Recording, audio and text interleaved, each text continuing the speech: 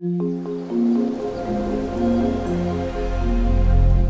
em chào chị ha. Rồi, chị chào cưng. Dạ. Em rất vui chào đón chị đến với chương trình kết nối yêu thương hôm nay ha. À, chị chào Quyên. Dạ. Chị có thể cho em biết chị tên gì và chị chào cộng đồng ha. À, trước hết thì à, chị à, chào Uyên à, chúc cưng một ngày mới nhiều sức khỏe và hạnh phúc bên gia đình cưng ha rồi à, à, mình cũng xin gửi lời chào đến tất cả anh chị em trên cộng đồng mạng trong và ngoài nước. Là chúc sức khỏe là chào thân thương và trân trọng nhất. À, chị tên là Nguyễn Thị Mến. À, chị sinh năm 1969 năm nay chị 53 tuổi. Chị hiện tại đang ở đâu chị? à chị ở Nhân Trạch Đồng Nai chứ Dạ. Chị ờ, đang làm công việc gì? à hiện giờ thì chị ra đang làm công ty công ty cũng ờ, cách nhà chị ờ, khoảng chừng 5 km thôi chị cũng gần Dạ. Là công ty chị làm là công ty sản xuất mặt hàng gì chị? À, nói chung là công ty của chị là công ty um, tư nhân là liên danh với lại ờ, nước ngoài lấy hóa chất đó cưng Dạ. hóa chất ờ, hóa chất ờ, tạo ở nước ngoài chở vô á Dạ. rồi xong rồi ờ, chở vô rồi xong rồi ở công ty của chị á mới ờ, xuất cho những cái nhà mà họ đối tác làm ăn xuất xe bồn á Dạ. à, tới hỗ trợ à. rồi còn công việc của chị thì à, hồi trước lúc mà chị mới vô làm thì chị à, nấu cơm cho ban giám đốc với lại à, nhân viên đồ ăn ở văn phòng á làm việc ở văn phòng á ăn. Rồi, rồi sau khoảng à, hơn nửa năm thì công ty mới xây dựng cái bếp ăn cho công nhân á. Ừ. cho nên là ừ chị vẫn bây giờ là chị không còn nấu cơm nữa thì tất cả mọi người đều qua đó ăn hết. Ừ. thì chị à, bây giờ công việc của chị thì ví dụ như là vì là công ty liên danh với nước ngoài cho nên là có những cái đối tác trong và ngoài nước họ tới để họ hợp tác làm ăn á Dạ. ví dụ như là chị à, chị chuẩn bị à, nước nôi bánh trái rồi đó hay là nước cam cà phê đồ để mình à, tiếp cận Ừ. Rồi ờ, tình trạng hôn nhân gia đình chị như thế nào? À, chị à, ly hôn được 6 năm rồi cưng thì chị có hai đứa con một à, đứa con trai thì 26 tuổi còn một bé gái là 16 tuổi Dạ. Con chị hiện đang sống chung với chị hả?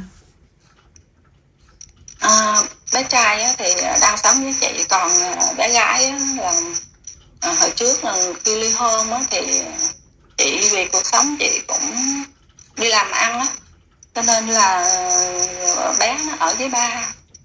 Rồi ờ, khi mà chị làm ăn khoảng năm mấy thì chị về chị chị về chị chăm ba chị bệnh thì ờ, bé nó nói thôi à, mẹ chăm ông ngoại mẹ lo mẹ chăm ông ngoại bệnh đi có gì con ở với ba thì à, ba có điều kiện chăm sóc cho con hơn. Chị à, trước đây giờ cái thì à, bây bây giờ thì à, thì à, mỗi tuần nó về đây một lần tức là chị à, chiều thứ bảy là chị đón về xong rồi à, chiều chủ nhật thì chị à, anh nó chở về với ba nó. Dạ. Ông xã trước đây của chị làm công việc gì chị? à, nói chung là tụi chị là giáo viên hết. Trước là chị à, chị cũng là giáo viên tiểu học chị dạy à, 26 năm cưng rồi à, xong rồi sau đó chị à, nghỉ hưu trước tuổi à, hiện giờ đang lãnh lương hưu của nhà nước Dạ. Nhưng mà chị vẫn đi làm thêm được ha? à, được tại vì mình à, làm thêm công ty gia đình đó họ cũng kiểu như là ưu ái cho mình á Ừ. nhưng mà làm đó mình không có kiểu như là mình không có tham gia bảo hiểm được cưng tự vì mình có hưởng lương hưu rồi á. Thì mình không có được tham gia bảo hiểm ừ. Dạ. Chị rồi chị nghĩ ưu điểm của mình là gì? chị ưu điểm của chị chị à, hay cười à, chị hay cười rồi nói chung là à, với lại à, trong cuộc sống của chị thì cho dù là vất vả khó khăn như thế nào chị cũng vượt qua hết tức là chị không ngại khó khăn vất vả Ừ. à, cái chị, cũng vượt qua hết à. Còn ờ, khuyết điểm của chị chị?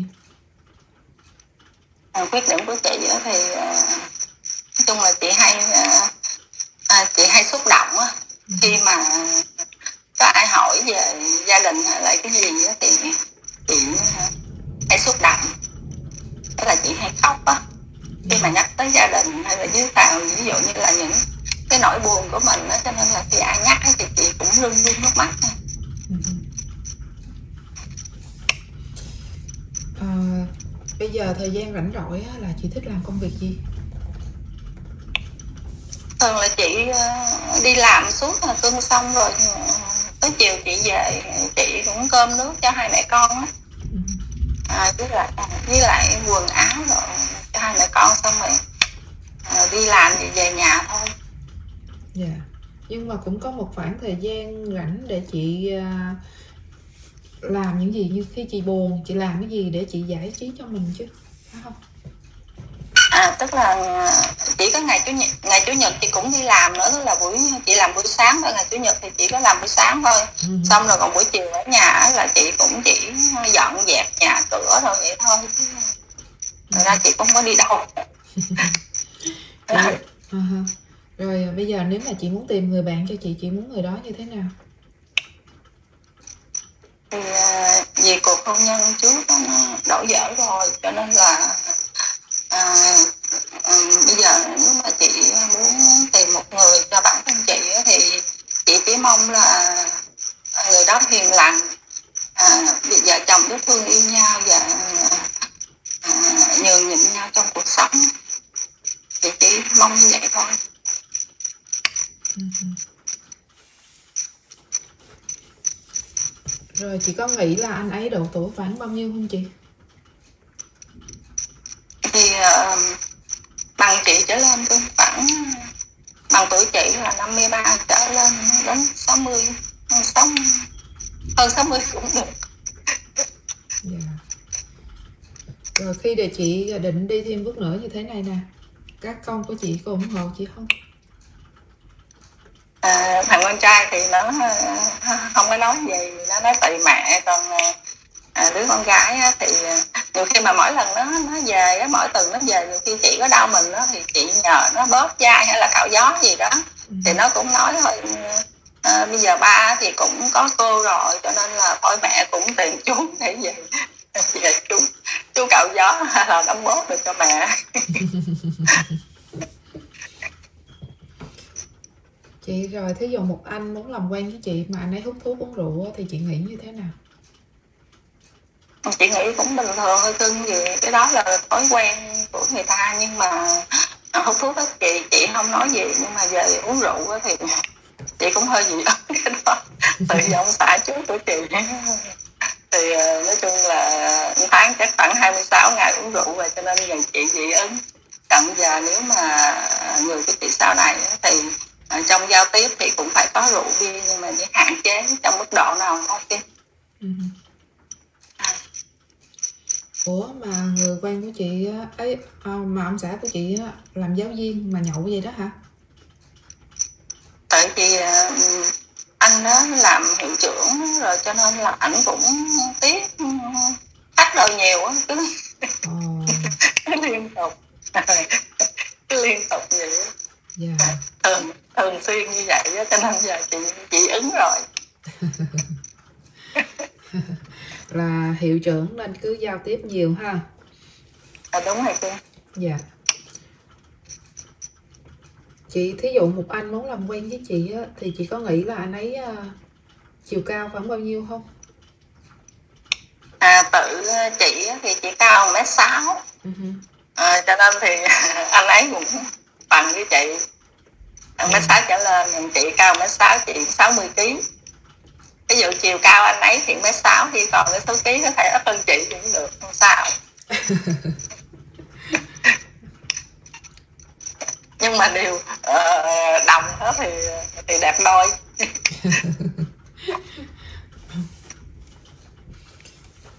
Nếu mà chị muốn ờ, tìm một người bạn cho chị như thế thì chị muốn người đó ở đâu cũng được ở nước nào cũng được hay là sao à đúng rồi cưng à, bây giờ ở đâu cũng được à, hay là ừ, ở nước nào cũng được hết chị chỉ mong một điều là à, nếu mà trời thương chị thì ban cho chị một người chồng à, hiền lành vợ ừ. chồng sống với nhau hạnh phúc và thương yêu nhau nhường nhịn nhau đến cuối đời yeah. Dạ. ước mơ của chị như vậy thôi yeah. chị dạ. cũng không phân biệt ở đâu hết yeah. Dạ. Rồi, uh, gia đình của chị có được mấy anh chị em hồi xưa thì à, mẹ chị sanh à, bốn bốn anh chị em ừ.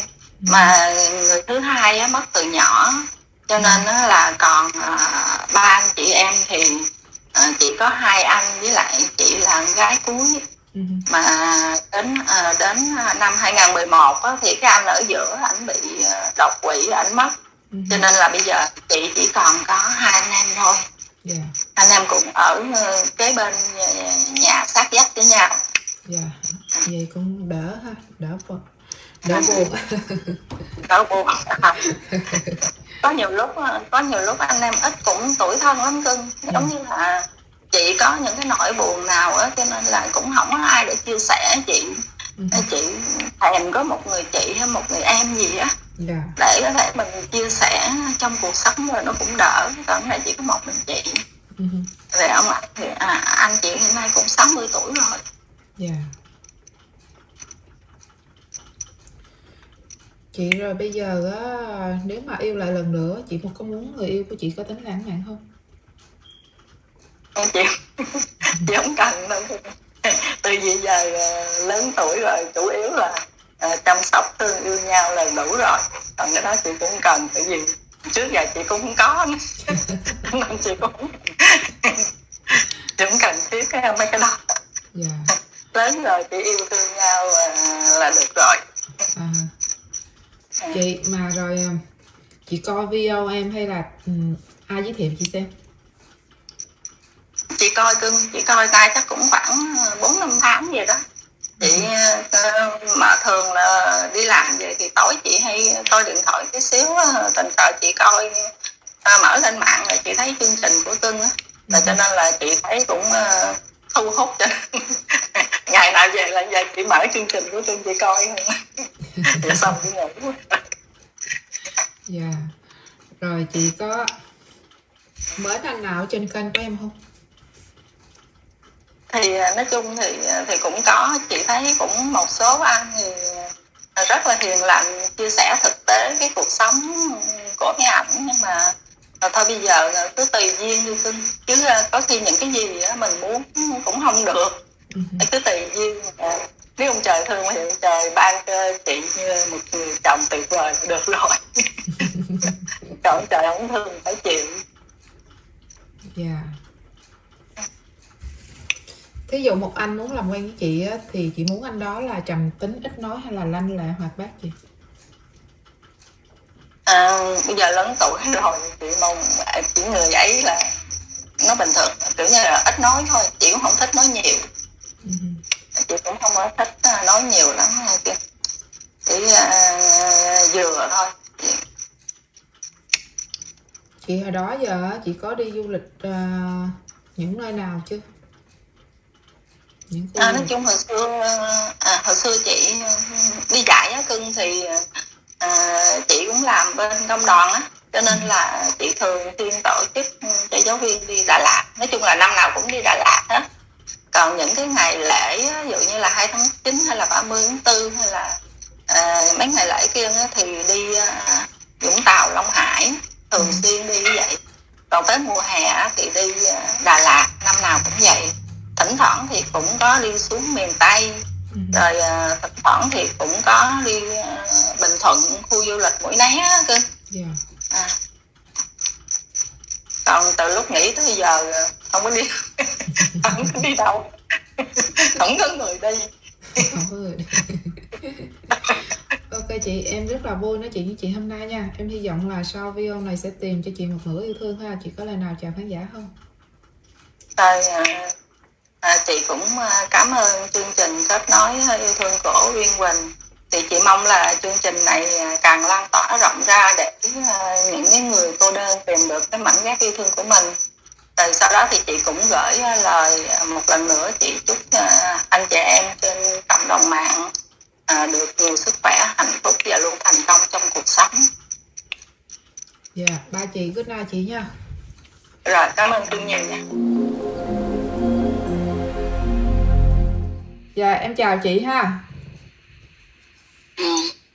chào uh, Như Quỳnh nha dạ em rất vui chào đón chị đến với chương trình kết nối yêu thương hôm nay nha ừ. Ừ. chị uh, trước hết chị chào Như Quỳnh sau chị chào trong lòng mạng trong nước và ngoài nước dồi dào sức khỏe chị tên là Thái Thị Ngọc Thanh sinh năm 1965 chị cao 1m65 chị nặng 55 kg dạ. Chị hiện tại đang ở đâu? Chị ở Tiền Giang. Ờ. Chị ở ngay à, tỉnh hay là ở trong quê?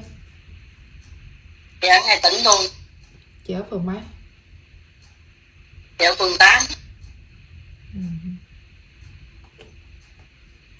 gần chợ không chị? Gần chợ cũ không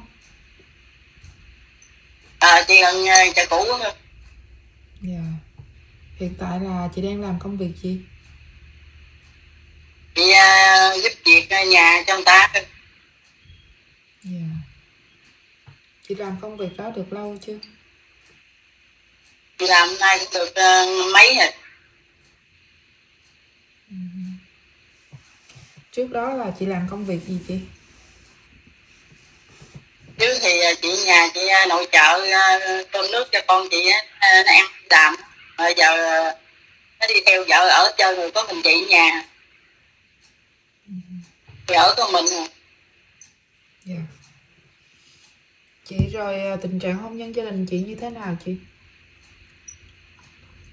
Rồi đó vợ với ảnh được chị thôi nay được ba ba mấy năm rồi wow lâu vậy? Tại vì ảnh uh, không có làm gì trơn ảnh không chịu đi làm trơn tin mình chị đi làm. Đã vậy bị quýnh nữa. Rồi uh, chị thấy vậy uh, chị mới thôi. Thôi uh, lần thứ ba mới được. Dạ. Và thôi nay đúng là ba mấy năm rồi. Không có vợ khác có con khác luôn rồi. chị rồi chị có được mấy đứa con chị hai đứa trai. Dạ. Có bé Ừ. nào hiện à, sống chung với chị không? Không đừng có mình chị à chị đi làm về xong chị uh, tắm rửa xong tôi ăn cơm rồi ngủ. Không đi chơi luôn. Có uh, lâu lâu người ta đi chùa chị người ta rủ chị chị đi. Chị hay đi chùa lắm. Ba mươi mấy năm mà chị à, ở vậy luôn hả? Chị có quen với người nào khác không? Ở vậy luôn ừ, chị vậy luôn. Mà nhiều người ờ, theo theo người chị đâu chịu. Thì nó chị ờ, có tên kinh kinh Việt Nam là, là hai người mà người nào cũng đòi mới mới biết mà đòi xuống với nhà chị ở hai ngày. Chị đâu có chịu. À, mình mình mới biết thôi chứ đâu phải biết mà lâu năm đâu mà mình cho ngủ kỳ cục cái chị mới nói thôi giờ anh xuống thì anh đi mướn ờ, nhà trọ hay khách tạng nở đi. Rồi tối em ờ, uống nước nhanh rồi em đi về. Không chịu. Rồi bắt đầu cái ờ, chị thấy vậy cái bắt đầu cái đã biến luôn. Hai người vậy đó nha. Hai người y chang vậy luôn. Rồi cái chị thấy hôn xong rồi rồi chị uh, bấm nút biến luôn. Nó lợi dụng mình không á. Phải chi mà quen lâu năm thì mình dắt về mình cho biết được. Mới có hai tuần lễ hả? rồi sao dám dắt về. Dạ. Tại ai mà chứ vậy hồi đó giờ chị đâu có dắt ờ, đàn ông vô trong nhà chị đâu đó giờ luôn. Dạ. Chị ở đây người ta biết nè. Không đi chơi mà không đi đâu trơn tết nhất là chị ờ, lên đốt cha nhang cha mẹ chị không tôi chị đi về đây nè. Đâu có ai đâu chở đi chơi. Ừ. ở nhà. Nhiều khi về đi làm về buồn. Dạ có mình mình đâu có ai đâu. Rồi chị mới lên ờ, trên đây này kiếm ờ, người cỡ chừng 65 hoặc 68 tuổi đó. Ừ hứ, 68 tuổi rồi được. Dạ. Ngủ nghỉ ờ, về già. Ừ rồi chị nghĩ là ờ, chị muốn tìm một người bạn cho chị á chị muốn người đó tính tình nó như thế nào chiều cao bao nhiêu? Tính tình ờ, ừ. tính tình hiền biết thương vợ. Ừ. Chiều cao của bằng chị cũng được. Ừ. Hoặc uh, nhỏ lụng của chị chút cũng được. Dạ.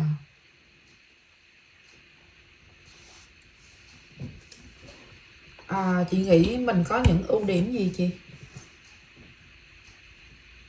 Chị hả ưu, ưu điểm chị hả? Dạ chị uh, hòa đồng. Chị uh, thương người. Chị uh, hay giúp đỡ mấy người già. Dạ. Ví dụ người ta đi chùa tiền ta đi uh, xa không uh, đi bộ á nhiều khi thấy chị thấy tội nghiệp chị cũng uh, chở chừng về tới nhà luôn. Ừ. Hứ. dạ. Còn khuyết điểm của chị cái chuyện của chị là ở ôm tóm này ăn thương chị chứ hòa đồng.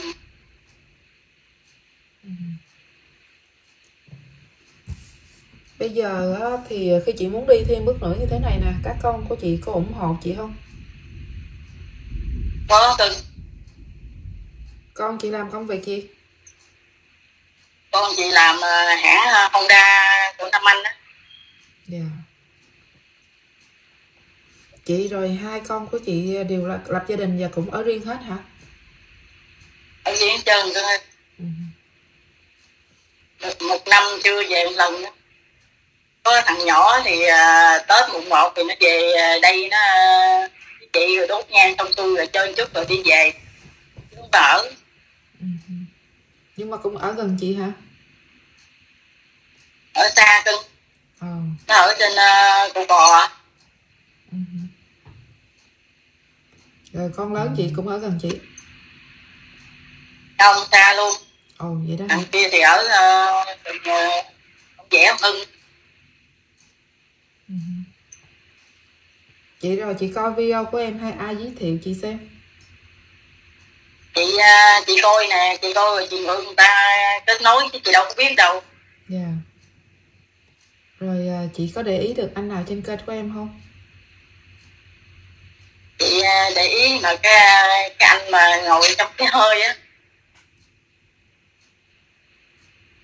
mà chị ờ, quên số rồi Ngồi trong cái hơi là ngồi cái gì? hoặc là cái anh mà ở dưới gò công chợ gạo mà ốm mà cao á Ấy chị nói là cái anh ngồi trong cái hơi là cái anh gì?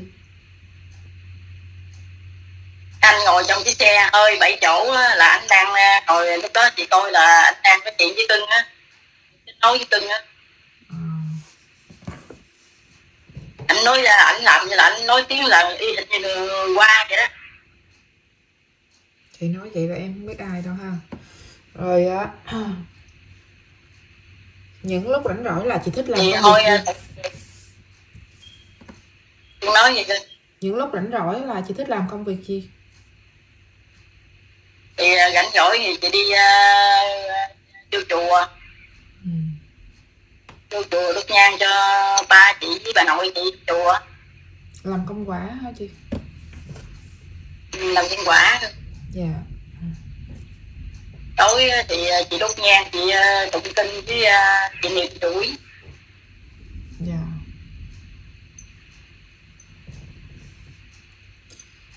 Chị rồi bây giờ nếu mà đừng nói gì cưng. Ồ mà chị có ờ, nấu ăn có giỏi không?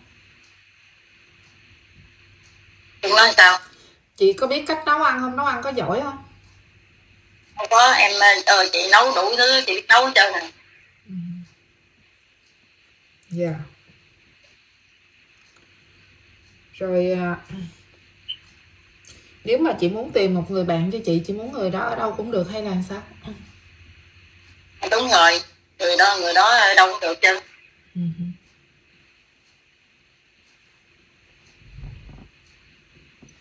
À, lớn hơn tuổi hơn chị là cỡ 65 tới 68 dạ. Lớn không 68 tuổi là lớn nhất đó, phải không 68 trở lại ha. Ừ. chị chị thích anh đó là trầm tính ít nói hay là lanh lẹ hoạt bát à, chị uh, thích uh, ảnh uh, trầm tính như chị, chị ít nói gì lắm. Vậy đó. Ừ. chị ít nói gì lắm. Chị có anh chị em gì không? Có à, anh của chị ở bên uh, bến tre có vợ ở bến tre. Ừ. với công việc hiện tại của chị nè là chị trong trong tương lai nếu có cơ hội á, là chị có muốn thay đổi công việc của mình không? Chị tính uh, mặn hết uh, năm nay rồi chị anh nghỉ. Không có làm. Chị nghĩ rồi chị làm công việc gì? Thì uh, chị uh, đi theo uh, người ta từ thiện đó ta kêu đi theo phụ từ thiện đó. Ờ. người ta phụ từ thiện như vậy rồi người ta trả lương cho chị không? Hay là đi tự nguyện thôi? Có có có, có, có trả chứ. Ờ vậy đó hả? Ở chứ ở dưới đó cũng có hội từ thiện hả chị? Ở đâu? Ở thành phố hay là ở, ở tiền giang? Ở uh, thành phố có ở dưới uh, tiền giang mình có. Ừ. đi theo vậy là mình hồi đi... uh, hồi từ rồi từ rồi là chị có đi uh, núi uh, thầy tím á. Ừ. rồi đi theo là tổ thật đó đi theo đi theo đoàn đoàn xe. Ờ. là đi theo đoàn xe. Mình đăng ký đi ờ, đi. Đó là ờ, người ta đăng ký cho mình đi là người ta cho mình uh, đi không. Ta bao cho mình ăn luôn. Ờ là đi giống như là đi từ thiện đó đó hả? Đúng rồi.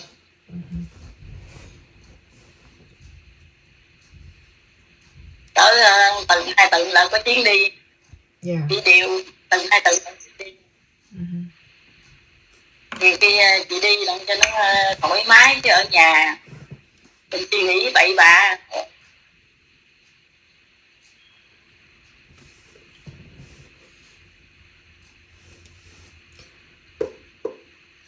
rồi nếu mà bây giờ có người yêu á chị có muốn anh đó ờ, phải ờ, lãng mạn không? Ừ, chị thích vậy á. Ok chị em rất là vui nói chuyện với chị hôm nay nha. Em hy vọng là sau video này sẽ tìm cho chị một người yêu thương ha. Chị có lời nào chào khán giả không? Chị trước hết ờ, chị ờ, chào ờ, cộng đồng mạng trong nước trong ngoài nước đều giàu sức khỏe với ờ, em Bình nha. Ok ba chị với hai chị nha. Ờ, à, bye nha cưng nha